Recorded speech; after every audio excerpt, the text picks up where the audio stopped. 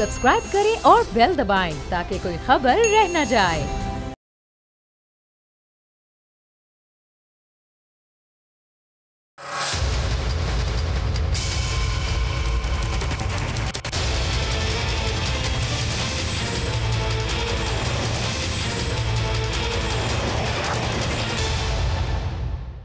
असलम आप देख रहे हैं प्रोग्राम बस बहुत हो गया। मैं हूँ अरबाब जहांगीर। कल प्रोग्राम में हमने बजट के हवाले से आपको कुछ बेसिक चीज़ों के बारे में बताया था, जिसका बरह रास्त आवाम से ताल्लुक होता है, लेकिन उनमें कोई भी चीज़, किसी भी हुकूमत की प्रायरिटी नहीं रहती।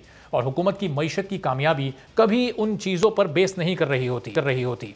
आज हम आपको उन चीज़ों के बारे में बताएँगे जिसका बरह रास्त आवाम से कोई ताल्लुक नहीं होता।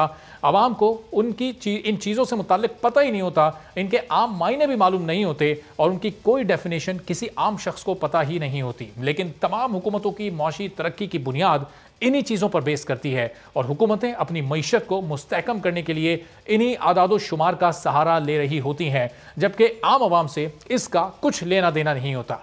किसी भी मुल्क की तरक्की का अंदाज़ा उसकी जीडीपी ग्रोथ से लगाया जाता है। पाकिस्तान तहरीक इंसाफ की हुकूमत ने भी पिछले साल बजट में जीडीपी ग्रोथ का टारगेट दो अशारिया एक फ़ीसद रखा था, लेकिन हैरान कन तौर पर पिछले साल तक माइनस में जाने वाली जीडीपी तीन अशारिया नौ चार फ़ीसद पर आ गई है, जिसके बाद हुकूमत ये दावे कर रही है कि मुल्क की मीशत इस वक्त तरक्की कर रही है। लेकिन पाकिस्तान में पिचानवे फ़ीसद आवाम को यह तक नहीं पता कि जीडीपी आखिर होती क्या है। इसका एब्रीविएशन क्या है? इसका मतलब क्या है? अवाम इस बारे में कितनी दिलचस्पी रखते हैं और में जानते हैं। ज़रा कुछ अवाम में मौजूद लोगों की राय आप सुन लीजिए। करंट अकाउंट के बारे में कुछ है मालूम आपको? कि क्या होता है? नहीं मुझे नहीं पता इसका। जी हाँ। जीडीपी और करंट अकाउंट के हवाले से कुछ है? पता क्या है ये? क्या चीज़ है जीडीपी और करंट सर इस मामले में तहकीक नहीं है खैर। होती तो इस बारे में कह देता। ये जीडीपी और करंट अकाउंट जो है इसका हवाले से कुछ है मालूम? नहीं हमारे नॉलेज में नहीं है। जीडीपी और करंट अकाउंट के बारे में कुछ पता है? क्या होता है ये पाकिस्तान बेटा मैं जो है ना इन चीज़ों में पढ़ा ही नहीं हूँ। मैं तो ये कहता हूँ जो मिल गया something is better than nothing GDP और करंट अकाउंट वगैरह के हवाले से मालूम है? ये क्या होते हैं? ये हमारे को मालूम नहीं है।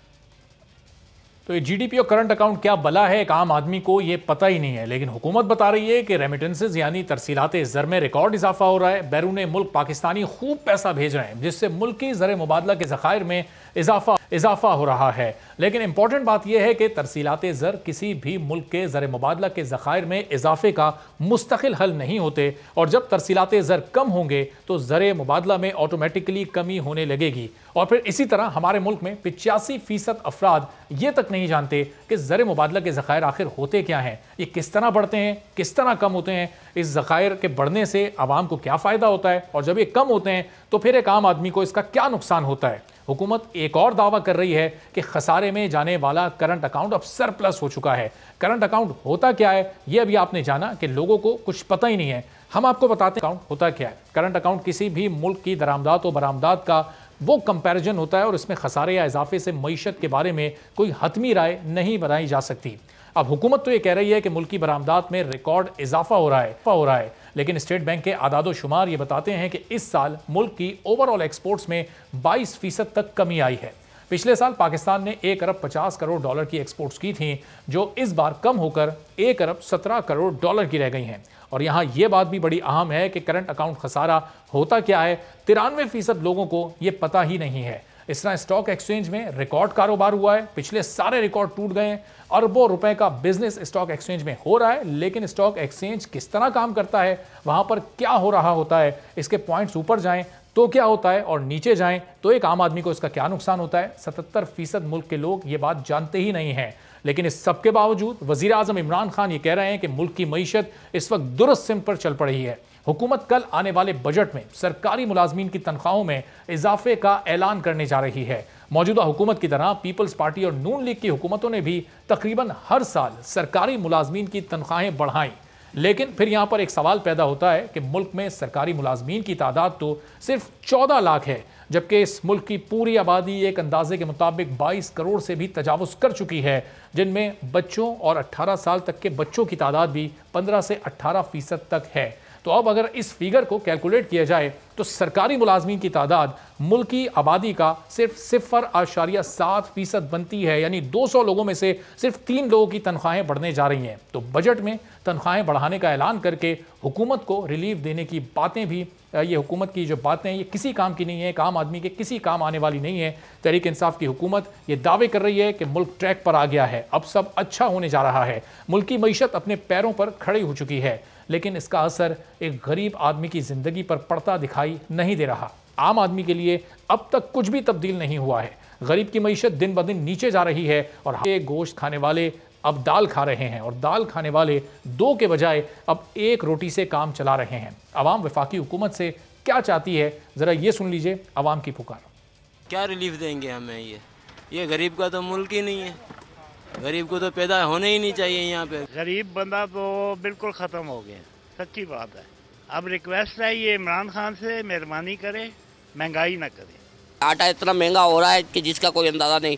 बिजली पहले से ही महँगी है। अगर बिजली के ऊपर टैक्स पड़ गया या गैस के ऊपर टैक्स पड़ेगा तो आवाम कहाँ से खाएगी? जो गरीब तबका है इस टाइम महँगाई की वजह से पिस रहा है बहुत ज़्यादा। इस टाइम सब दुआएँ दे रहे हैं इमरान साहब को कि कुर्सी से उतर जाएं या फिर महंगाई रोज़गार कम कर दें वो महंगाई चढ़ गई है समाना ਤੇ ਇਹ ਰੱਬ ਕਰਕੇ ਉੱਤਰ ਜਾਵੇ ਥੱਲੇ ਤੇ ਕੋਈ ਅੱਲਾ ਦਾ ਨੇਕ ਬੰਦਾ ਆਵੇ ਕਿ ਜਿਹੜਾ ਆਣ ਕੇ ਗਰੀਬਾਂ ਦੀ ਗੱਲ ਸੁਣੇ दूसरा साल है कि लोग मर रहे हैं भूख से बिजली नहीं और कुछ भी नहीं है और ना हुकूमत कुछ कर रही है अगर आपने फिर आना है दोबारा तो जितना आप रिलीफ आवाम को दे सकते हैं तो आप क्या नाम है आवाम को दें नहीं तो आवाम पीटीआई की गवर्नमेंट से बहुत ज़्यादा खफा है तो आवाम हुकूमत से ये चाहती है कि उसकी आमदनी में इजाफा हो उसकी तनख्वाहें बढ़ाई जाएँ महँगाई में कमी हो आ, लेकिन आमदनी बढ़ तो रही है। बजट में अगर ये तनख्वाहें बढ़ा भी जा दी जाती हैं तो हमारे पूरे मुल्क में जो सरकारी मुलाजमीन हैं उनकी तादाद तो शायद सिर्फ़ साढ़े चौ सिर्फ़ चौदह लाख के करीब है जो कि इस पूरी आबादी का सिफर आशार्य सात फ़ीसद बनते हैं।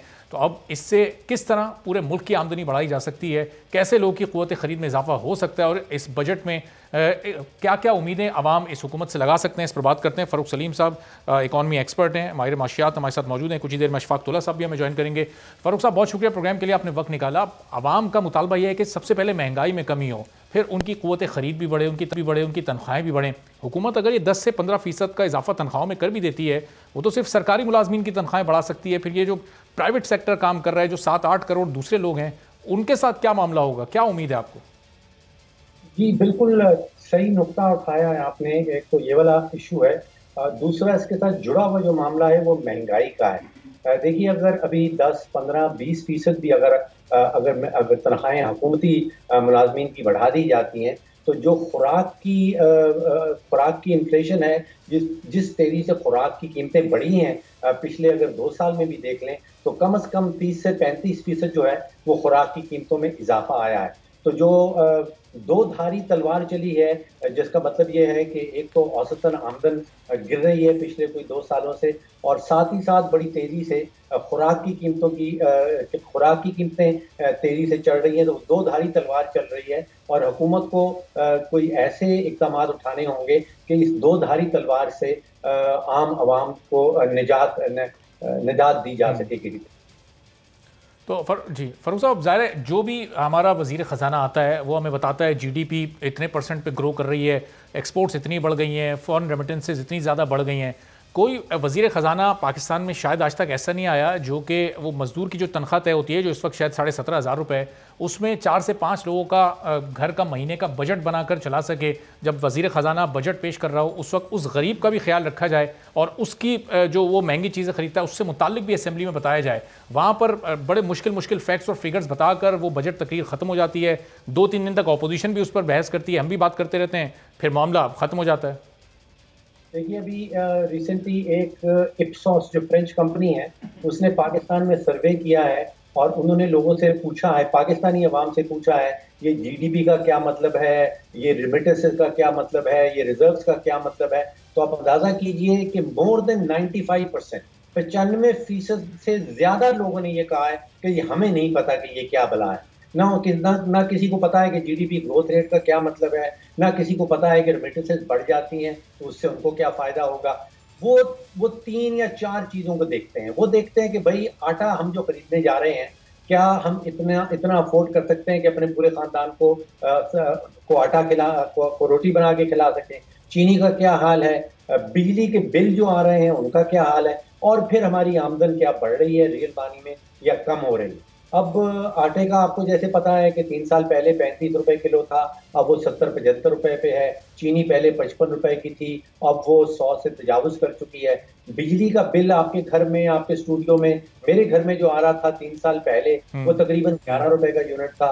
आज वो बाईस तेईस चौबीस रुपए का यूनिट आता है। तो उनका बजट से कोई ताल्लुक नहीं है। उनका ये बड़ी बड़ी जो माशी असलाहें हम लोग इस्तेमाल करते हैं उनका उससे कोई ताल्लुक नहीं। वो कहते हैं क्योंकि 80 फ़ीसद पाकिस्तानी जो है वो तकरीबन 80 फ़ीसद अपनी आमदन खुराक पे खर्च कर देते हैं। तो खुराक मतलब ये है कि आटा चीनी और फिर बिजली का बिल। अब आजकल हालात ये हैं कि आटा चीनी अगर आप खरीद लें और बिजली का बिल फिर आपने सोचना है कि बच्चों की फ़ीस अदा की जाए या बिजली का बिल दिया जाए तो मैं आप यकीन जानिए कि जो वालदेन हैं वो इतनी मुसीबत में पड़ जाते हैं कि वो बिजली का बिल दें या बच्चों की फ़ीस दें, ये बड़ा मुश्किल डिसीज़न है। बिल्कुल, और फरूख साहब, ज़ाहिर है न सिर्फ़ फ़ी यूनिट रेट बढ़ गए बल्कि कई तरह के ऐसे टैक्सेस भी आम की समझ ही नहीं आता कि ये टैक्सेस क्यों लगे हैं, किसकी जानब से लगाए गए और क्यों वो ये भरने पे मजबूर हैं? अशफाक तुला साहब को भी गुफ्तु में शामिल करते हैं। अशफाक साहब, ये रेमिटेंसेज क्या होती हैं? जीडीपी क्या होती है? करंट अकाउंट खसारा क्या होता है? स्टॉक एक्सचेंज कैसे काम करती है? एक आम आदमी का तो इससे कोई लेना देना नहीं है। ये जो बजट ये जो बजट हर साल पेश किया जाता है, जो इस मुल्क के हुक्मरान यानी अशराफिया बनाती है, ये किसके लिए? ये अमीरों के लिए होता है, क्योंकि गरीब का तो इससे कोई ताल्लुक नहीं होता। अशराफिया बनाए, गरीब बनाए, कोई भी बनाए, ये मीजानिया, ये फ़िल्टर होके आता है जिनके आप मकरूज। तो ये बात तो आपको पहले सोचनी पड़ेगी कि बेगर कांड बी द चूजर आप जब किसी से लोन लेते हैं या आप किसी को लोन देते हैं तो सबसे पहला सवाल क्या होता है आपके पास कि जी ये पैसे कैसे वापस करें? तो जब आप आईएमएफ से लोन ले रहे हैं और इतना बड़ा कर्जा है आपकी जीडीपी में इजाफा नहीं हो रहा आपकी रेवेन्यू में इजाफा नहीं हो रहा तो ज़ाहिर बात है शराय तो सख्त से सख्त होंगी। और बिल्कुल सही कहा डॉक्टर साहब ने कि पचानवे फ़ीसद लोगों का इससे कोई ताल्लुक नहीं है कि जीडीपी क्या है रिज़र्व क्या है ये कितनी प्रोडक्शन बढ़ी है। देखिए आप मुझे बताएँ कि मैं देख रहा हूँ और हमने एक आज रिलीज़ भी की अपनी कि पाकिस्तान इकोनॉमी पाकिस्तान की जो इकोनॉमी है ना ये इस वक्त ब्रोकन विंग्स पे फ्लाई कर यानी कि आपके पर टूटे हुए और आप हम फ्लाई कर रहे हैं ये मेरा ख्याल है। बड़ी ऊँची उड़ान आप नहीं उड़ सकते और अगर उड़ भी सकते हैं तो आपको नीचे गिरना पड़ेगा। और अगर आप देखेंगे तो इस वक्त जो आशारिया नज़र आ रहे हैं जो आपने दिखाया तीन आशारिया नौ चार की जो जीडीपी ग्रोथ दिखाई है। और उसमें जो सबसे पहले आपने हमें ग्रोथ दिखाई है सबसे पहले जो ग्रोथ दिखाई है आपने वो दिखाई है हमें एग्रीकल्चर की दो आशारिया सात सात। दो आशारिया सात सात में अगर आप देखेंगे तो आपकी जो गंदम मकई और चावल और चौथी आपकी जो गन्ने की काश्त है आप बोलते हैं बहुत अच्छी। और आपकी कॉटन की कास्ट आपने का कम हो अब आपको मैं एक बात बता देता हूँ ये मैंने हमने इसको और एनालिसिस किया जब तो हमें बड़ी जान की खुशी हुई कि हमारे सूबे पंजाब में जो कल्टीवेशन थी यानी जो लैंड कल्टीवेट की गई थी वो भी पिछले साल के मुकाबले में ज़्यादा हुई और इसका जो रील पर एकड़ या हेक्टर आया वो भी माशाल्लाह बहुत ज़्यादा आया। तो मुझे लग रहा है कि अगले साल अगर हम चारों सूबों में इसी तरीके से करें तो तो फिर आप तो सेल्फ सफिशियंट हो जाएँगे और आप एक्सपोर्ट करना शुरू कर देंगे। अब ये आशारी किस हद तक ठीक है? कहाँ पर होंगे? किस जानब बैठेंगे? अगले साल ये इसकी रिविजन में हमें पता चलेगा। या अगर कोई इंडिपेंडेंट एनालिसिस होगी लाइक आईएमएफ करेगा या वर्ल्ड बैंक करेगा या कोई और रेटिंग एजेंसी करेगी तो पता चलेगा। लेकिन अशोक साहब अगर आप लार्ज लार्ज स्केल मैन्युफैक्चरिंग में देखते हैं अच्छा खासा आपने ग्रोथ दिखाया और आप लार्ज स्केल मैन्युफैक्चरिंग में कहते हैं नौ नौ फ़ीसद आपका ग्रो कर गया। नौ फ़ीसद ग्रो करने में कंजम्पशन रेट ग्रोथ काफ़ी है। हाँ ये ज़रूर है टेक्सटाइल की ग्रोथ भी है बट वो मेरे ख्याल से तो अशफाक साहब अगर सिर्फ़ तो पिछले पिछले तीन साल का स्पेसिफिक एनालिसिस अगर करें क्योंकि ये हुकूमत जब आई थी तो हमें बताया गया था कि हम आकर कर्जे भी उतारेंगे आईएमएफ के पास भी नहीं जाएँगे मीशत भी बेहतर होती जाएगी। पिछले दो साल में जिस तरह के मुल्क के हालात रहे मुआशी वो सबके सामने है। इस हुकूमत ने अपने उन तीन साल इस तीन साल दौर में जो वादे किए थे क्या वो पाँच से दस परसेंट भी अपनी कारकर्दगी की सूरत में ये पूरे कर पाएँ या आगे अगले दो साल इनसे ऐसी उम्मीद रखी जा सकती है कि अवामी रिलीफ में कुछ करेंगे? देखिए मैं सिंपल सी बात करता हूँ आप इस बेहतर तरीके से जानते हैं कि पल्स क्या है। मुझे बताइए पल्स क्या है। आप मुझे बताएँगे आप आप क्या समझते हैं। आपने देखा है ये चीज़ें। पब्लिक खुश है जैसे फरूख सलीम साहब ने कहा। नहीं बिल्कुल नहीं। तो आपने वादे कितने किए थे? पब्लिक से किए थे। अगर पब्लिक खुश नहीं है और वादे वहीद आपके वफा नहीं हो रहे तो फिर तो वो वादे तो वो यानी वो जो हुआ ना वादा ही क्या जो वफा हो गया। मगर अगर आप आशारियों को भी देखेंगे तो वो आशारी भी कोई इंकरेजिंग नहीं है। आप कर्जे ना लेने का मतलब मैं कर्जे अदा करने की बात नहीं करता। कर्जे ना लेने का मतलब अगर ये मैं एन एनएफसी अवार्ड रखता हूँ तो कर्जे ना लेने का मतलब मेरी तरफ़ से ये होगा हज़रत कि मैं पंद्रह हज़ार अरब रुपए का मैं टैक्स कलेक्ट करूँ पंद्रह हज़ार से अठारह हज़ार। जो आपके जीडीपी का सैंतीस पैंतीस से सैंतीस फ़ीसद होता है तो आप तो छह हज़ार अरब कलेक्ट नहीं कर सकते। आप वादा करते हैं अंदर के छह हज़ार अरब करूँगा फिर हम कहते हैं कि नहीं हम अट्ठावन सौ अरब करेंगे।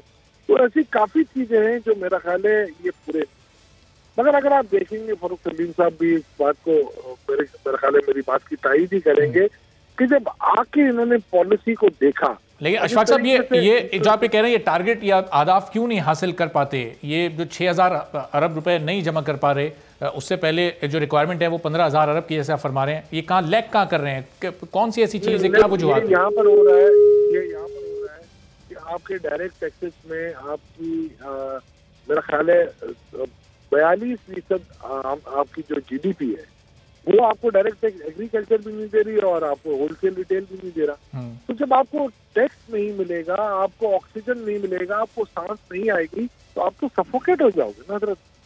तो वो टैक्स आपका कलेक्ट करना आपके लिए ज़्यादा प्रॉब्लम है इस वक्त। ठीक है ना? और ये प्रॉब्लम है आपको ये प्रॉब्लम आपको उस वक्त तक रहेगा जब तक आप टैक्स सही मायनों में कलेक्ट नहीं कर पाओगे। सही। ठीक है ना? ठीक है चलो अशफाक साहब मैं, मैं वापस आपकी तरफ़ आता हूँ जरा फरूख साहब ये जो पॉइंट अशफाक साहब ने उठाया कि ये सही मायनों में टैक्स कलेक्शन अब इसके लिए टैक्स नेट बढ़ाने की ज़रूरत है और ये हुकूमत उल्टा टैक्सेस में इजाफा कर देती है। इसकी फिर इसका सही तरीका क्या है? किस राह पर चला जाए? फिर अगर ये टैक्स कलेक्शन अपने आदाफ तक नहीं पहुँच सकती तो फिर तो मुल्क कर्जों तले धसता चला जाएगा आने वाले दिनों में भी।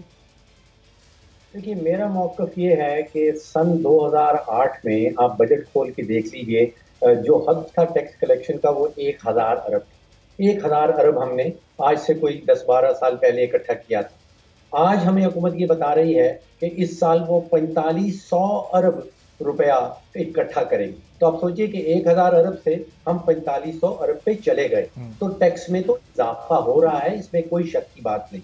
मामला ये है कि 2008 में जब हमारे टैक्सेस एक हज़ार अरब थे उस वक्त हमारे अखराज कोई पंद्रह सौ अरब के थे। आज वो अखराज जो हैं कोई आठ हज़ार अरब से बढ़ गए हैं।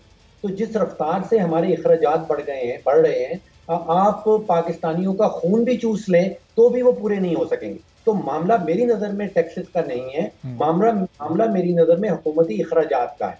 टैक्सेस बढ़ रहे हैं मैंने आपके सामने रखा एक हज़ार अरब टैक्सेस थे 2008 में और साहब ये कौन से ये खास खास अखराज हैं? क्योंकि जब ये हुकूमत आई तो बहुत सारी चीज़ों में अखराज में कमी भी की गई। कुछ अलामती चीज़ें हमने देखी थी गाड़ियाँ बेची गई वो भैंसें बेची गई और बजट दूसरी चीज़ों के कम किए गए। तो ये कौन कौन से अखराज अभी और कम करने पड़ेंगे जिससे चीज़ें कंट्रोल में आएँगी? देखिए, उससे तो आप भी जानते हैं कि भैंसे बेचने से या कारें बेचने से कुछ नहीं बनता। हम तो चाहते हैं कि जो जो हमारे सियासतदान हैं, जो हमारे वजरा हैं, उनके ऊपर इतनी बड़ी ज़िम्मेदारी आती है, उनको बहुत अच्छी अच्छी सैलरीज मिलनी चाहिए, जैसे प्राइवेट सेक्टर में मिल रही लेकिन उसके नतीजे में वो कोई काम भी करके दिखाएँ। देखिए, इस वक्त कोई 1800 अरब रुपए का बोझ बन जाता है सिर्फ़ स्टेट ऑन एंटरप्राइजेस का। जो हमारी पीआई है, जो पाकिस्तान रेलवेज है, जो पाकिस्तान स्टील है, अगर कोई हुकूमती अफसर, अगर कोई सियासतदान उनको पकड़ के उसमें से आधी भी कटौती कर देता है 1800 अरब की जगह एक साल, नौ एक साल ऐसा हो जाए कि 900 अरब का नुकसान करें, बजाय 1800 अरब का तो उसके बदले बेशक वो जहाज़ खरीदें, वो वो बहरी जहाज़ खरीदें, वो जेट पे जाएँ वो तनख्वाहें अपनी चार गुना बढ़ा लें, हमें कोई एतराज़ नहीं होगा। तो यहाँ पे देखिए, एक एक बुनियादी इशू ये आ रहा है कि 22 करोड़ पाकिस्तानियों का मुल्क है, ये कोई खोखा या कोई दुकान नहीं है। तैतीस महीने के अंदर आपने चार चार वज़ीर खजाना बदल दिए हैं, कोई पाँच दफ़ा सेक्रेटरी फाइनेंस बदला है, चार या पाँच दफ़ा जो है वो चेयरमैन बोर्ड ऑफ़ इन्वेस्टमेंट बदल गए हैं, चार दफ़ा कोई एस सी के चेयरमैन बदल गए हैं। देखिए, यहाँ पे तो अभी टीम ही तश्कील नहीं हो रही। जो जो मुल्कों को चलाने का तरीका होता है वो पहले ये है कि फ़ेज़ वन में आपने एक अच्छी सी टीम तश्कील देनी है। फिर वो टीम कई महीने बैठती है मनसूबाबंदी करती है। फिर कई महीने में उस मनसूबे को उन मनसूबों के ऊपर अमल दरामद होता है फिर नतज सामने आते हैं। अब यहाँ पचास फ़ीसद टाइम पीटीआई हुकूमत का गुजर गया है। अभी तक वो फ़ेज़ वन में है। अभी टीम तश्कील दी जा रही है। हमारी उम्मीद है हमारी दुआ है कि एक अच्छी सी टीम सामने आएगी। लेकिन फिर उसको कई महीने लगेंगे मनसूबाबंदी करने में फिर कई महीने लगेंगे उन मनसूबों के ऊपर अमल दरामद होने पे। तो नतज जो बाकी टाइम रह गया है पीटीआई का उसके दौरान तो किसी किस्म के नतीजे की उम्मीद नहीं रखी जा सकती। सही। तो अशफाक साहब ये ज़ाहिर है जो गुजशत दौर हुकूमत था मुस्लिम लीग नवाज़ का उसमें भी ये मुल्क पर कर्जे तो बढ़ रहे थे अखराज शायद इतने ही बल्कि ये हुकूमत बताती है इससे भी ज़्यादा अखराज थे इन्होंने तो कम किए हैं। लेकिन उस वक्त फ़ूड इन्फ्लेशन इतनी ज़्यादा नहीं थी, दीगर चीज़ों में भी महँगाई की शरह इतनी ज़्यादा नहीं थी, लोगों की क़वत ख़रीद इस हद तक मुतासर नहीं होती जितनी तीन सालों में हो गई। तो ये खर्चे कम करने के बावजूद टैक्स कलेक्शन बढ़ाने के बावजूद भी हुकूमत महँगाई पर नहीं कंट्रोल कर पा रही, इसकी क्या वजह समझते हैं आप? देखिए, आप ये थोड़ा सा एनालिसिस करें, मेरा ख्याल है, ये ऐसी बात नहीं है। कर्जे कोई कम नहीं, खर्चे कोई कम नहीं है, खर्चे बढ़े ही है, ठीक है ना? और दूसरा मैं आपको बताता हूँ आपने ये सबसे बड़ा काम किया जो कि गलत हुआ कि आपने डिफेंस एक्सपेंडिचर दो साल से बढ़ाई नहीं। तो ये आप अपनी सिक्योरिटी को रिस्क करें ये कर्जे कम होने या खर्चे कम होने से ये मत आप अपनी जीडीपी और आमदन को बढ़ाएँ। देखिए मैंने आपको कहा 42 परसेंट आपका जीडीपी का आपका डायरेक्ट टैक्स था। तो फिर मेरा ख्याल है फिर तो आपकी पूरी मंतक ही खत्म हो जाती है ना। जब तक आपकी इक्विटी नहीं होगी टैक्सेशन में, जब तक आप इनडायरेक्ट टैक्सेस पैंसठ फ़ीसद आप वसूल लें, पैंतीस फ़ीसद आपका हो गया। एक जमाने से हमारा सिक्सटी फोर्टी चल रहा था, फिर थर्टी एट सिक्सटी टू आप थर्टी फाइव सिक्सटी फाइव हो गया है।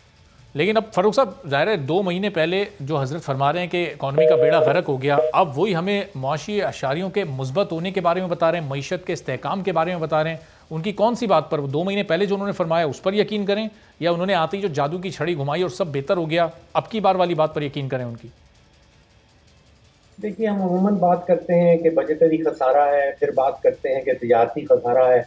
मैं समझता हूँ जो असल खसारा है वो एतबार और एतमाद का खसारा है जिसको ट्रस्ट डेफिसिट कहते हैं। और उसका इतना बड़ा नुकसान होता है देखिए अब जो जो अदाद शुमार हुकूमत शाया करती है उसके ऊपर पाकिस्तान के अंदरूनी सरमाकार भी बड़े गौर से देखते हैं। जो बैरूनी सरमाकार जो पाकिस्तान को सोच रहे हैं पाकिस्तान में सरमाया करने के लिए सरमाकारी करने के लिए वो भी बड़े गौर से देखते हैं। अगर उनका एतबार और एतमाद का जो रिश्ता है वो टूट जाए अगर वो कह रहे हैं कि हुकूमती इरादो शुमार जो आ रहे हैं उन पर हमें ट्रस्ट नहीं है हमें हमारा एतबार नहीं है फिर आप सोचिए कि उसका बड़ा नुकसान होता है।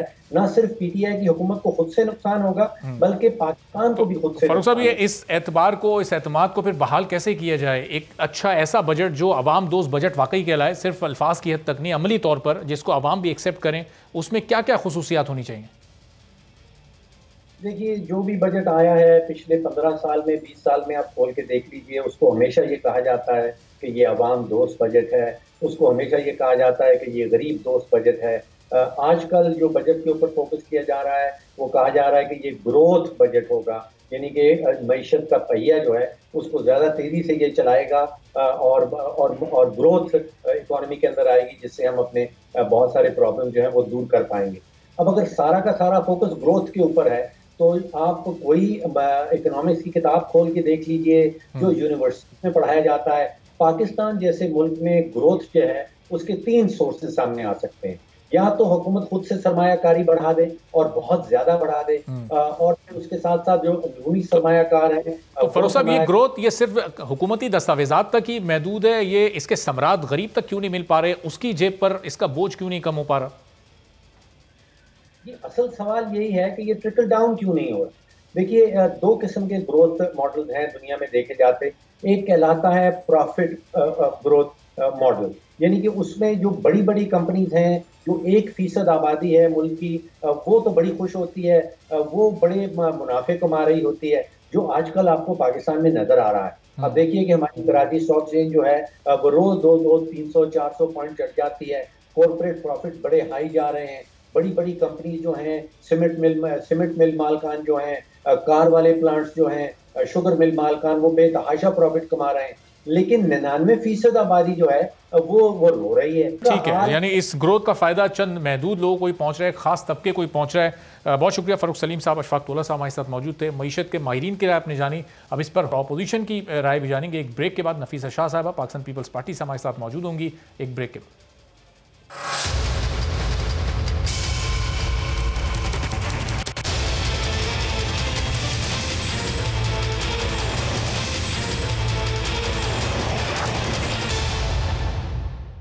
प्रोग्राम में एक बार फिर आपको खुशामदीद कहते हैं। हुकूमत ये कह रही है कि कल आने वाला बजट एक गरीब दोस्त बजट होगा, आवाम के लिए इसमें रिलीफ होगा, लेकिन अपोजिशन इस बात को नहीं मान रही और अपोजिशन का ये कहना है कि इस बजट को रोका जाएगा। अपोजिशन पार्लियामेंट के अंदर मुतहद दिखाई देगी। पीपल्स पार्टी और नून लीग मुतहद होकर इस बजट पर हुकूमत को टफ टाइम देने की कोशिश करेंगे। लेकिन ये मुमकिन कैसे होगा? क्योंकि पार्लियामेंट के बाहर हुकूमत अपोजिशन इस वक्त मुकम्मल तौर पर तकसीम नज़र आती है और पार्लियामेंट के अंदर बिलावल भुट्टो जरदारी ये कह चुके हैं कि हमारे तमाम पार्लियामेंटेरियन तमाम M N As opposition leader Shehbaz Sharif के हवाले हैं और बजट सेशन में वो उनको मुकम्मल तौर पर सपोर्ट करेंगे। अब ये सपोर्ट क्या सिर्फ़ एक दिन की होगी और उसके बाद फिर ये अपोजिशन पहले की तरह लड़ती दिखाई देगी?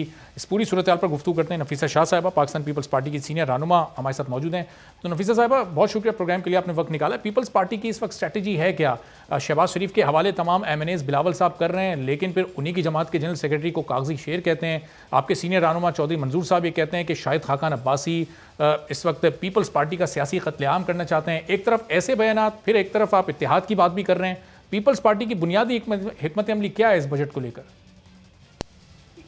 सब चीज़ें एक तरफ़ रखें। हम सब का मकसद यही होगा। इस बजट में कि पाकिस्तान के अवाम की नुमाइंदगी करते हुए बजट जो गालिबन अ, एक गोरख धंधा है नंबर्स का उसको बेनकाब करना उसमें से जो भी फिगर्स जो हैं जो उन्होंने गलत बयानी की होगी जो इस वक्त भी कर रहे हैं जो फिगर्स का हेर फेर किया होगा जो आवाम से झूठे वादे किए होंगे, जो झूठे दावे किए होंगे, उसको बे बेनकाब करेंगे।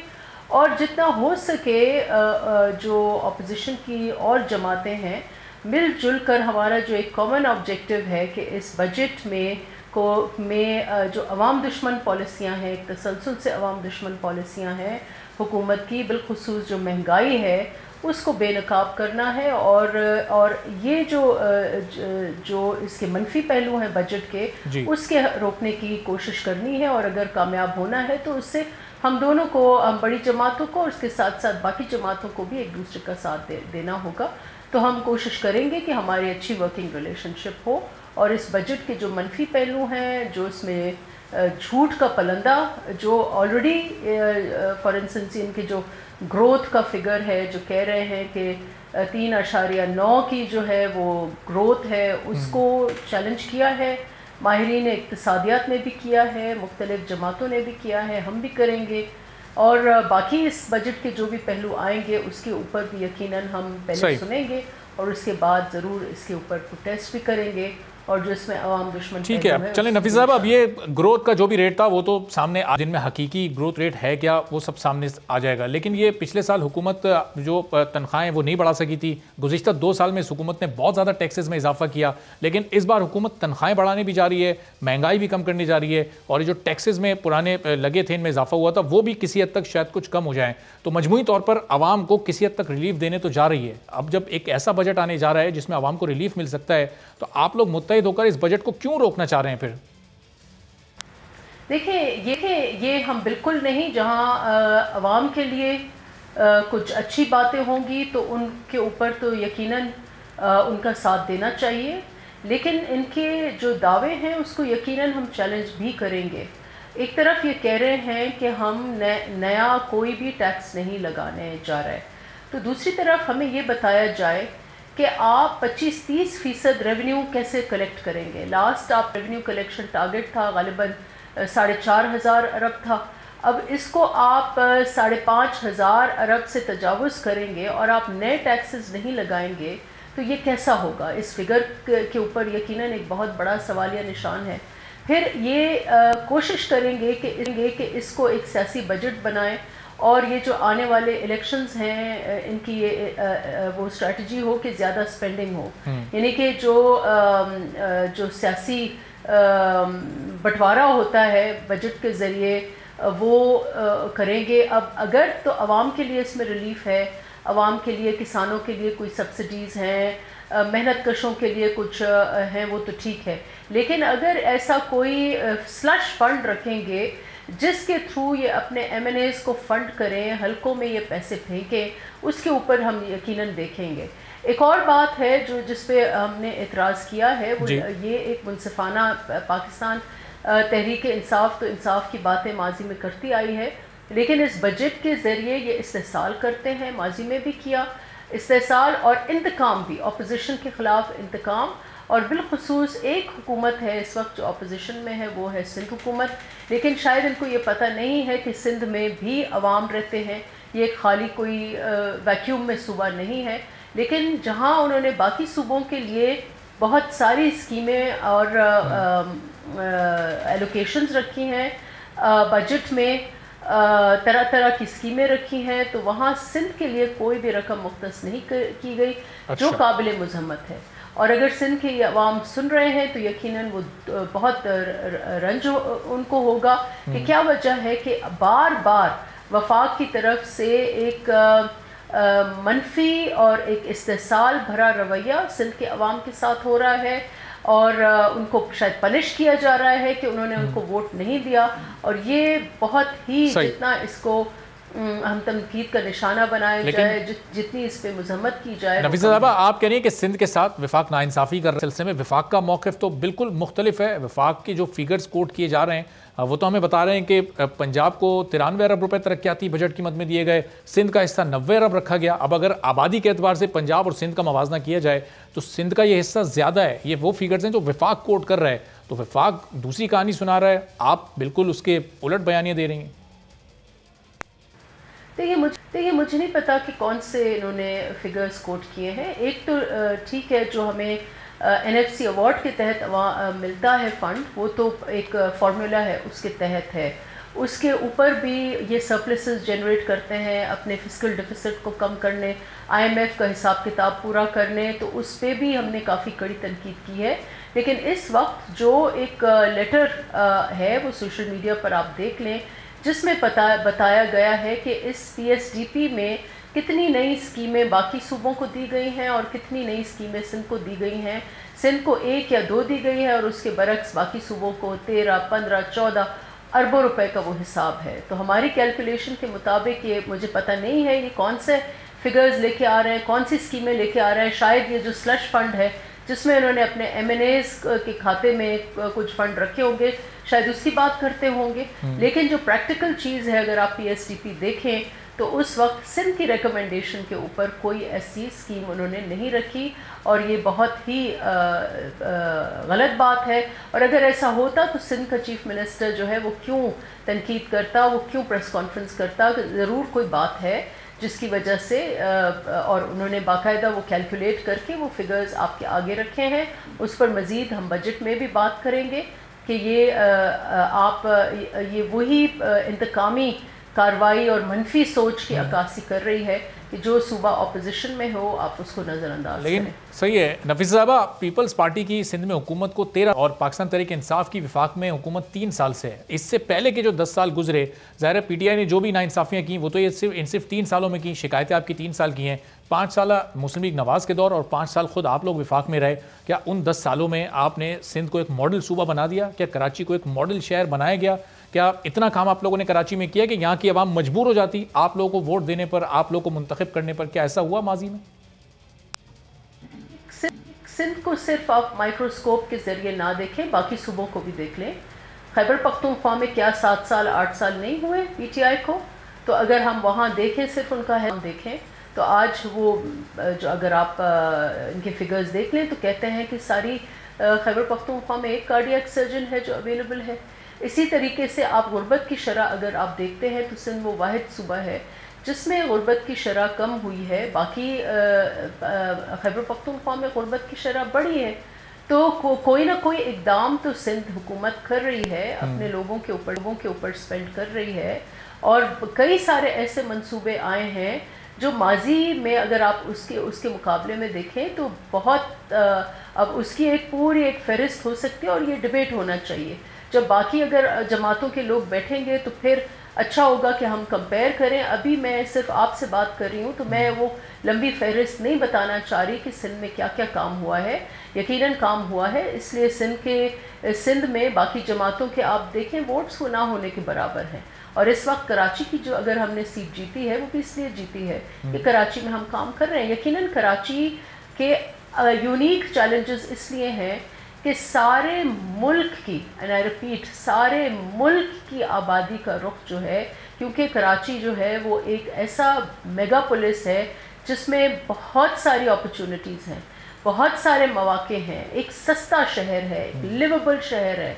तो आपकी वहाँ कराची में खैबर खैबर पख्तूनख्वा के बाद सबसे बड़ा पश्तून टाउन जो है वो कराची है।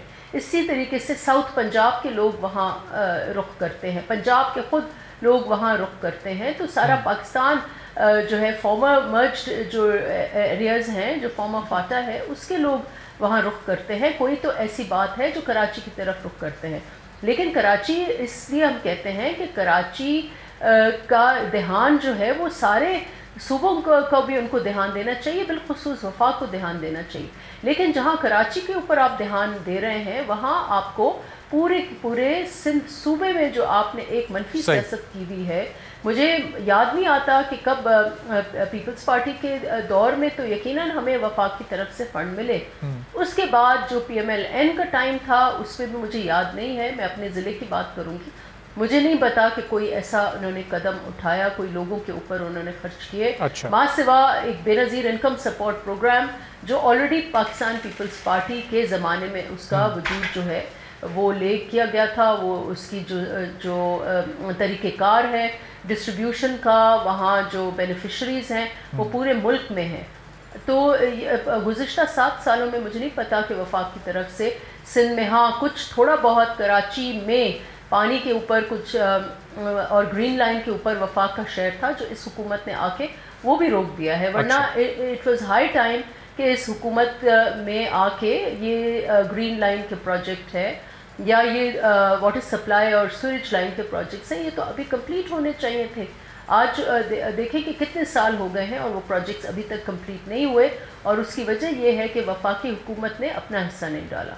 ठीक है तो अब ज़ाहिर नफीसा साहबा, यही तो वो लंबी चौड़ी चीज़ की बुनियाद पर आप लोग इस हुकूमत को गिराने जा रहे थे, पीडीएम बना था इतिहाद किया था, लेकिन ज़ाहिर अब वो इतिहाद भी ऐसा लग रहा है, रेजा रेजा हो गया, आप लोग अलग अलग अपोजिशन कर रहे हैं। अब इस अपोजिशन का मुस्तबिल क्या है, ये हुकूमत अपनी मुद्दत पूरी करेगी या नहीं, और विफाकी हुकूमत के बजट पर आप लोग को बहुत ज़्यादा एतराज़ात हैं तो अब सिंध भी सिंध हुकूमत भी अपना बजट पेश करने जा रही है, उसमें आवाम के लिए कितना रिलीफ होगा? इसका जवाब मैं आपसे लेता हूँ एक ब्रेक के बाद।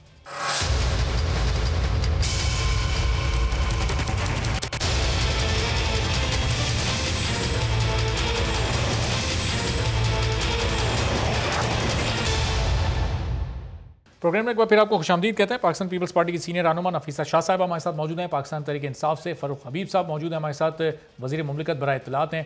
फ़रूख साहब, कल ये बजट जो पेश करने जा रहे हैं क्या क्या रिलीफ देने गरीबों को जा रहे हैं? अपोजिशन तो इसके नंबर्स को बिल्कुल मुस्तरद कर रही है, अल्फाज का गोरख धंधा कह रही है। महँगाई में नब्बे फ़ीसद फ़ूड इन्फ्लेशन में इजाफा हुआ है दस पंद्रह फ़ीसद तनख्वाहें बढ़ भी जाएँगी तो क्या फ़र्क पड़ेगा गरीब पड़ेगा गरीब आदमी पर? नहीं लेकिन वो तनख्वाहें तो जो सरकारी मुलाजमी रह गए जिनकी तनख्वाहें नहीं बढ़ेंगी, वो कल उनकी तनख्वाहें भी बढ़ जाएँगी।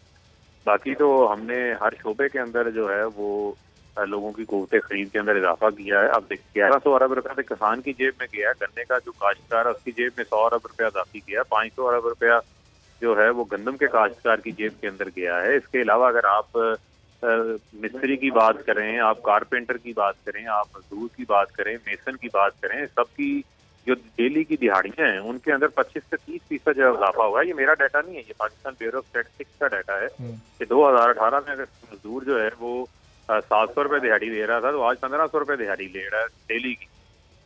लेकिन फरूख साहब ये तो, ये गन्ने के काश्तकार की जेब में जो पैसा गया वो सौ रुपए चीनी किलो चीनी तो एक आम आदमी खरीद रहा है। गन्नू के काश्तकार की जेब में जा रहा है वो अस्सी रुपए किलो आटा एक आम आदमी खरीद समझने की देखिए इसको एक समझने की ज़रूरत है। हमें आप ये देखें कि आपकी आबादी का सत्तर फ़ीसद ज़रात से मुंसलिक है। हम्म। आपकी आबादी के साठ फ़ीसद जो मजदूर है वो भी ज़रात से मुंसलिक है। जब आप एक चीज़ को रीबेस करते हैं अपनी इकोनॉमी को तो तेरह सौ रुपए में किसान नुकसान के अंदर था। अब यही किसान जो पैसा उसने घर में तो नहीं रख लेना वो पैसा उसने आके शहरों में खर्च करना ये मनी साइकिल है। ये वेल्थ साइकिल है वेल्थ एक हाथ में नहीं रहती दौलत। ये मुख्तलिफ़ हाथों में जानी है। उसमें आके कपड़े खरीदेगा जूते खरीदेगा मोटरसाइकिल लेगा ट्रैक्टर लेगा गाड़ी लेगा और चीज़ें लेके जाएगा शहरों से गाँव के अंदर। तो ये पैसा जो है आपकी वेल्थ में इजाफा होता है। इसके अलावा आप देखें कि जो हमने लार्ज स्केल मैन्युफैक्चरिंग के अंदर इजाफा किया और सबसे बड़ा जो पहलू है जो आप नजरअंदाज कर देते हैं कि आपकी आज ग्यारह माह के अंदर सत्ताईस मिलियन डॉलर जो है वो आपकी रेमिटेंसीज आई हैं। अगर इनको रुपयों में कन्वर्ट कर लें तो पाकिस्तान के अंदर पैंतालीस सौ अरब रुपया आया है। और ये पैंतालीस सौ अरब रुपया जो ओवरसीज बाहर पाकिस्तानी बैठे हैं उन्होंने अपने प्यारों को भेजा है। यहाँ पे खर्च करने के लिए भेजा है ना। यहाँ वो खर्च कर रहे हैं या आगे सरमायाकारी कर रहे हैं। तो उससे भी लोगों की कुत खरीद के अंदर जो है वो इजाफा हुआ है। फिर हमने चार सौ सत्तर अरब रुपया इंटरेस्ट की मद में जो लोगों ने ज़्यादा अदा करना था जब तेरह फ़ीसद था तो हमने सात फ़ीसद कर दिया चार सौ सत्तर अरब रुपया वहाँ से बचा है। फिर इसके अलावा जो हमने डायरेक्ट डेढ़ सौ अरब रुपया कोविड के दौरान पिछले एक साल में हमने कैश इमरजेंसी के तौर पे बांटा है लोगों में जो वनरेबल तबका है इस वजह से उनकी बाइंग पावर के अंदर इजाफा हुआ है। बाइंग पावर में जो आमदन में हमने इजाफा किया है वो सैंतीस फ़ीसद है। पिछले साल पर कैपिटल इनकम एक लाख छियासी हज़ार थी इस साल जो है वो दो लाख छियालीस हज़ार है। और तो साहब तीन तीन साल में फ़ूड इन्फ्लेशन कितना बढ़ा हुआ है। फ़ूड इन्फ्लेशन में कितने फ़ीसद अच्छा फ़ूड इन्फ्लेशन को भी हमें देखें ना हमें पढ़ने का आदत नहीं है। अगर आप पढ़ें तो वर्ल्ड फ़ूड और फ़ूड एग्रीकल्चर ऑर्गेनाइजेशन है यूनाइटेड नेशन का इदारा है। जैसे W H O UN human rights कमीशनों के बड़े हवाले देते हैं ना आप लोग। तो उस रिपोर्ट को पढ़ें उसमें ये लिखा है कि पूरी दुनिया में खाने पीने की शाह में चालीस फ़ीसद इजाफा हुआ है और सिर्फ़ जो घी है जो हम सारा इंडोनेशिया मलेशिया से इंपोर्ट करते हैं पाकिस्तान में एक कतरा नहीं बनता घी का एडिबल ऑयल का उसकी कीमतों में 124 फ़ीसद इजाफा हुआ है। फिर आप दालें देखें फिर आप सोयाबीन का रेट देखें उसके अलावा हम अब इस बजट के अंदर जो कल आ रहा है हमने फ़ूड सिक्योरिटी के लिए पैसे रखे। सही साहब आपने कहा कि आपने खुद बताया भी कि मुल्क का सत्तर फ़ीसद निसार ज़रात पर है। एक ज़रूरी मुल्क में अगर हम आटा अस्सी रुपए किलो खरीदें चीनी सौ एक सौ पाँच रुपए खरीदें तो फिर वो एक आम आदमी इन रिपोर्ट्स को लेकर किधर जाएगा? देखें नहीं नहीं नहीं नहीं देखें बात ये है आप किसान को एक है ना? किसान की जो इनपुट कॉस्ट है वो क्या है? उसने बीज डालना है उसने जो है वहाँ पर ट्यूबवेल चलाना है बिजली के ऊपर उसने डीएपी डालनी है उसने दीगर खादें डालनी है तो किसान को जो ऑन एवरेज 25 से 30 मन उसकी जो गंदम निकलती है एक एकड़ से और अगर वो उसने जो एकड़ है पचास हज़ार साठ हज़ार सत्तर हज़ार रुपए सालाना जो रेंट पे लिया हुआ है ठेके पे लिया हुआ है तो आप देखें क्या उसके लिए वायबल है। तो आपने एक तरह बेस बढ़ाई है। वो पैसा अल्टीमेटली लोगों की ही जेब में जाना है। और आपने अपनी इकोनॉमी को रीबेस किया है। तो अब इशू महँगाई का नहीं है। अब जो मामला है वो लोगों की कुत खरीद में हमने इजाफा करना है जो हमने पैंतीस फ़ीसद किया है। आइंदा मजीद हम करें। ठीक है इसका मतलब फारूक साहब ये हुकूमत आटे और चीनी की कीमत जो बढ़ी है उसको नहीं कम कर सकती नहीं करेगी। नहीं नहीं ये मैं बात नहीं कह रहा कि उसको कम नहीं कर सकते। मैंने आपको ये बताई कि अगर आपकी इनपुट कास्ट ज़्यादा है लेट्स अगर गन्ने का सी मन रेट जो नून लीग के दौर में एक सौ अस्सी रुपए था लेकिन किसान को कभी सौ रुपए एक सौ बीस रुपए से ज़्यादा नहीं मिलता था। इस साल किसान को तीन सौ रुपए उस वक्त चीनी भी तो बावन रुपए किलो मिलती थी ना। आप ये देखें बाईस करोड़ लोग चीनी खरीद रहे हैं किसान तो आप आप आप आप देखें ना फिर फिर आप बात कर रहे हैं जो उसकी वैल्यू एडेड प्रोडक्ट है। मैं तो आपसे ये बात कर रहा हूँ जो चीनी है चीनी की पैदावार आपकी जीडीपी में शामिल नहीं जीडीपी में आपकी जो एग्रीकल्चर जो क्रॉप की ग्रोथ है वो आपकी शामिल होती है। तो आपका जो किसान है वो खुशहाल हुआ उसकी जेब में पैसा आया। अल्टीमेटली अल्टीमेटली जो नजायज मुनाफा हो रही है जो ग्राह फरोशी है उसको हम कम कर रहे हैं उसमें सिर्फ़ वफाक की ये ज़िम्मेदारी नहीं है। ये सूबों की भी ज़िम्मेदारी है अठारहवीं तरमीम के बाद कि अगर कराची के एक इलाका नाजमाबाद में एक चीज़ सौ रुपए किलो बिक रही है तो वो लांडी के अंदर जो है वो डेढ़ सौ रुपए में नहीं बिकनी चाहिए। एक ही शहर में दो दो रेट्स नहीं हो सकते। वहाँ पर सूबाई हुकूमतों ने प्राइस कंट्रोल कमेटियों ने काम करना है तो उनकी भी ये ज़िम्मेदारी तो फारूक साहब ज़ाहिर है फिर पंजाब में और खैबर पख्तूनख्वा में तो पूरी ज़िम्मेदारी आपकी है। आधा मुल्क तो वही है बलूचिस्तान में वो तो सूबाई देखें सूबे में तो जिसकी भी हुकूमत होगी अल्टीमेटली हम पंजाब के अंदर देखें पंजाब के अंदर हम जो है वो ग्राम फरोशी के खिलाफ पूरा एक एक्ट लेकर आए हैं। हमने जो है वो जखीरा अंदोजों के खिलाफ सख्त कानून साजी करके सख्त जुर्माने पास करके कार्रवाइयाँ की हैं। हम ही तो हैं साहब कार्रवाइयाँ हो रही हैं एक्ट एक्ट ले आए आप माफिया हो रही हैं टाइगर फोर्स आ गई लेकिन कीमतें नहीं हो रहा तो कीमतें कम नहीं हो रही महँगाई कम नहीं हो रही बाकी सारे अमल हो रहे हैं। देखें महँगाई का मैंने आपको वजूहत उसकी बयान की मैंने कि जैसे आपका इंटरनेशनल मार्केट के अंदर पूरी दुनिया के अंदर जो है फ़ूड सिक्योरिटी का एक मसला बना हुआ है पूरी दुनिया के अंदर कीमतों के अंदर जो है इजाफा हुआ है। आपकी सत्तर फ़ीसद खाने पीने की जो हमारी दालें हैं ये भी हम इम्पोर्ट करते हैं। तो लिहाजा फिगर्स को तो चेक करें ना। बाकी पाकिस्तान जो वो हम क्यों वायबल बनाना चाह रहे हैं फ़ूड सिक्योरिटी के हवाले से भी ये जो हमारी बाकी क्रॉप्स हैं जो स्टेपल फ़ूड है हमारी ये तो 40 फ़ीसद है हमारी तो पैदावार साहब ये जो तो ये जो चार चार 60% बम्पर क्रॉप चार बम्पर क्रॉप्स आ रही हैं। सारी शामिल है। ये इन चार बम्पर क्रॉप्स के आने के बाद फिर ये इन चीज़ों की कीमतों में कुछ फ़ीसद कमी होगी? कोई आप अगर फिगर कोट्स कर सकें कितनी कमी हो सकती है? देखें यकीनन यकीनन जो है इन, तमाम चीज़ों के अंदर जो है वो कमी भी आएगी और किसी को ग्राफ फरोशी की जाएगी बहुत शुक्रिया। चलिए बहुत बहुत शुक्रिया। फ़ारूक हबीब साहब मौजूद थे। और फ़ारूक हबीब साहब ने ज़ाहिर है हुकूमत बयानिया कि कल का बजट आवाम दोस्त होगा और महँगाई में भी कमी होने जा रही है और लोगों की तनख्वाहें कुत ख़रीद वो बढ़ाने जा रहे हैं। लेकिन अपोजिशन ज़ाहिर है इस पूरी सूरत को इन तमाम आदाद शुमार को मुकम्मल तौर पर मुस्तरद करती है। नफीसा शाह साहबा, आप लोगों ने जो तहरीक शुरू की थी, उसका मकसद था कि इस हुकूमत को घर भेजना है। ज़ाहिर वजूहत यही कुछ थी जो अभी फ़ारूक साहब जिनसे मुतल गुफ्तू कर रहे थे। अब ये आप बताइएगा कि ये अब अपोजिशन अलग अलग चलेगी, आप अलग अपोजिशन करेंगे, नून लीग अलग अपोजिशन करेगी, इसका मतलब आप लोग अगले इलेक्शन की तैयारी कर रहे हैं और इस हुकूमत को अपनी मुद्दत पूरी करनी है। पीडीएम का जो दास्तान है वो तो अब अगेन एक बहुत बड़ा बहस है कि किसने क्या किया और जो अनफॉर्चुनेटली पीडीएम में जो दरारें पड़ी हैं, उसका ज़िम्मेदार कौन है? हमारा एक मौक़ है कि जो पीपल्स पार्टी के उसमें जो पॉइंट्स थे जो पीपल्स पार्टी का वहाँ पर जो ओपिनियन था जो हमारी स्ट्रेटजी थी जो हमारी हमत अमली थी आज जो दो तीन जमातें वहाँ रह गई हैं उनकी भी वही अब हमत अमली है। हम ये कहते थे कि ग्राउंड पे रह कर लड़ें अ, हर चीज़ ना तोड़ें हर चीज़ ना डिमोलिश करें जो है आप अपनी अ, अपनी प्रेजेंस इंश्योर करें बाई इलेक्शंस में लड़ें सेनेट इलेक्शंस में लड़ें नेशनल असम्बली में नो कॉन्फिडेंस दें पंजाब में नो कॉन्फिडेंस दें, आज वही जमातें कोई भी उन- उनमें से इस वक्त तैयार नहीं है कि वो इस्तीफ़े दें, वो भी मुजाहरों की बात कर रहे हैं, वो भी इंटरनल सिस्टम में रह कर लड़ने की बात कर रहे हैं। तो that means people part peoples party की एक अखलाकी जीत है और हमारा जो मौक़ है, आज भी पी डी एम पे कायम है। हम हम, हमने पी डी एम या सारी जमातों का कट में बनाने में पीपल्स पार्टी का बहुत अहम किरदार था। तो हम क्यों चाहेंगे कि पी डी एम जो है वो कमज़ोर हो? लेकिन उसकी वजूहत जो हैं अगर आपको जाना है तो एक एक्सट्रीम पोजीशन जो मेजर जमातें दो थीं जो जो हमें लग रहा है कि उनका एक तरीके से कटजोड़ भी था उनकी एक एक्सट्रीम पोजीशन की वजह से शायद पी पीडीएम में दरारें आई हैं। लेकिन उसके बावजूद जैसे हमने कहा हमारा आज भी मौक़ यही है कि सिस्टम में रह कर लड़ना है और वो हम पार्लियामेंट में अंदर हो सूबाई हुकूमतों में हमारी प्रेजेंस हो और फिर ऑफकोर्स सड़क पे भी तो हम अपना जो बहसीत जमात अपने नज़रिए अपने कारकुनों। को साथ लेकर हम इस हुकूमत को चैलेंज नफीस साहब। ज़ाहिर है कल बजट सेशन है अब आप लोगों की पोजीशन जमातों की क्या तैयारी है कैसे मुतहद होकर इसको अपोज करेंगे क्योंकि इस वक्त तो आप लोग एक दूसरे के खिलाफ लड़ रहे हैं आपकी लड़ाई तो हुकूमत के खिलाफ थी नहीं जी ये नहीं जी यही हमारा भी गिला था लेकिन मैं समझती हूँ कि हमारी ये फुल कोशिश होगी कि हम एक दूसरे का साथ दें। अगर वहाँ कोई पी एम एल एन के प्लेटफॉर्म पे आई होप कोई ऐसी मनफी सोच नहीं नज़र आए। लेकिन बजट को रजिस्ट करना सिर्फ़ असम्बली में डेस्क बजा के कट मोशंस डाल के नहीं है। असम्बली के बाहर भी आज जो आपसे गुफ्तगू हो रही है तो मैंने जो फिगर्स आपको कोट किए अगर आज अभी शौकत तरीन आप बिठा दें तो मैं उनसे ये सवाल करूँगी। और ये अवाम के आगे ये फिगर्स जो हैं ठीक है। अच्छा। नफीस साहब चूँकि वक्त वक्त चूँकि थोड़ा कम है अब आखिर में अब सिंध हुकूमत ने भी बजट पेश करना है। सूबाई सतह पर आवाम को आप लोग क्या रिलीफ दे रहे हैं? कितने फ़ीसद यहाँ पर तनख्वाहों में इजाफा होगा? जो महँगाई यहाँ आप लोग कंट्रोल कर सकते हैं सूबाई सतह पर उसमें कितनी कमी ला सकते हैं? देखिए माजी के माजी में भी जहाँ जब किसी ने भी तनख्वाहें नहीं बढ़ाई थी तो पाकिस्तान पीपल्स पार्टी की हुकूमत ने तनख्वाहें बढ़ाई थी।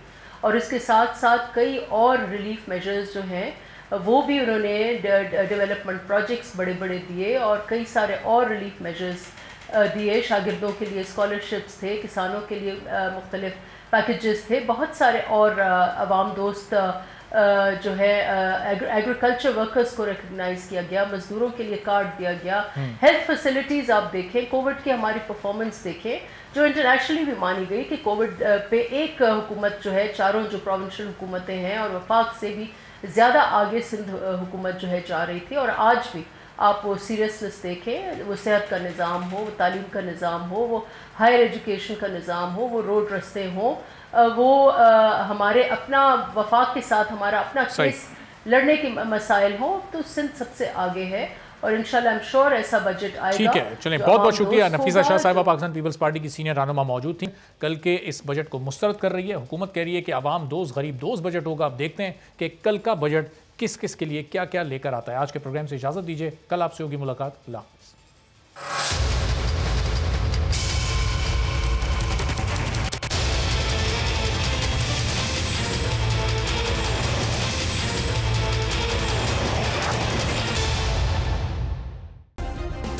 सब्सक्राइब करें और बेल दबाएँ ताकि कोई खबर रह न जाए।